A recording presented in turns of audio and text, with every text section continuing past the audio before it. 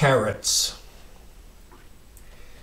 After the fire, they stood in the Pilsner light of a late summer afternoon, squinting through the still rising smoke from the rubble.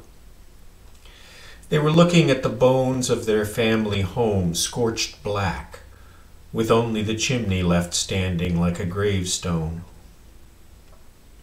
Ancestors of the family had lived in that old shotgun house for a hundred years, but now they've lost everything.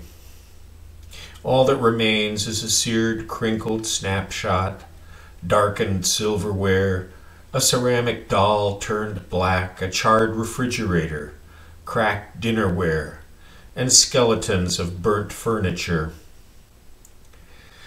The house was the anchor of the family through four generations, and those irreplaceable burned artifacts marked the milestones of their lives.